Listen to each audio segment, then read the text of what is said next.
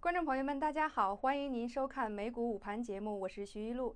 今天是纽约时间二零一五年二月五日，一起来看一下美股在周四的午盘表现。周四美股高开，各大板块走阳，道指一开盘蹿升一百二十二点。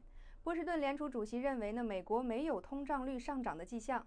今日投资者的关注力将从希腊问题上转向企业财报和经济数据方面。摩根士丹利的分析师认为呢，特斯拉股价的下跌是投资者买入的好时机。丹麦银行连续三周四次降息。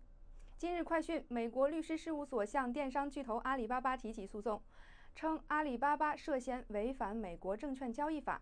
阿里巴巴股价应声下跌九十美元大关，报八十九点五七点，跌幅为百分之零点四八。最近呢，淘宝手势无人机配送成成功。阿里竞争对手呢，Amazon 交易代码为 AMZN，宣布开发无人机配送系统。高层表示正在寻寻求联邦航空管理局的许可。Amazon 股价持续走阳，报三百七十一点零七点，涨幅为百分之一点七三。今天油价直线拉升，美国轻质原油价格报每桶四十九点六零美元，涨幅为百分之一点二二。布伦特原油价格上涨百分之一点七七，报每桶五十五点八五美元。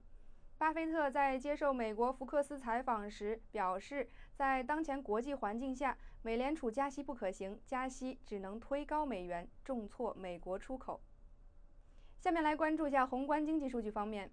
美国十二月贸易逆差为四百六十五点六亿美元，预期是三百八十亿美元。美国去年十二月出口总额是一千九百四十八点八亿美元，低于预期，并小于进口总额的两千四百一十四点四亿美元。贸易赤字的飙升呢，近两年来最高位，主要是近期能源板块的变化有关。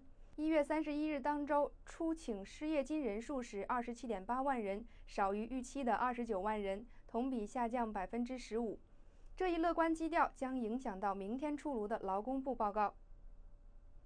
美国去年第四季度非农生产力萎缩百分之一点八。二零一四年第四季度非农单位劳动成本初值是百分之二点七，预期是百分之一点二。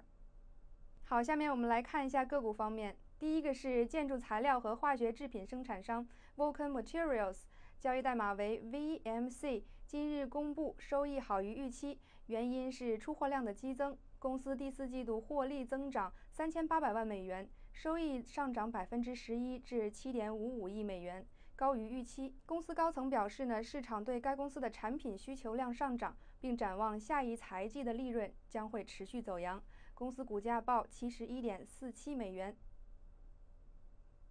第二个是美国女装品牌 Michael Kors，交易代码为 KORS，公布财报好于预期，主要是去年假日期间销量激增导致，但是目前又有所回落。公司获利三点零三亿美元和每股一点四八美元，股价下跌百分之二点三八，报六十九点六八美元。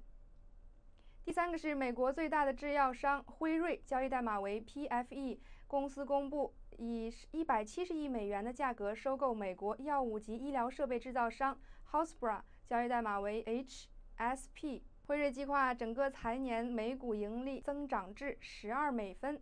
今天股价上涨百分之三点三四，报三十三点一四点。第四个是美国医疗保险巨头信诺公司，交易代码为 CI。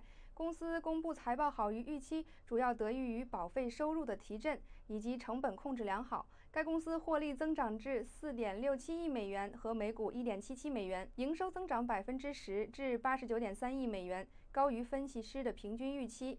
今日股价上涨百分之二点一六，报一百一十二点四八点。好，以上就是美股在周四的午盘表现，感谢您的收看，我们收盘再见。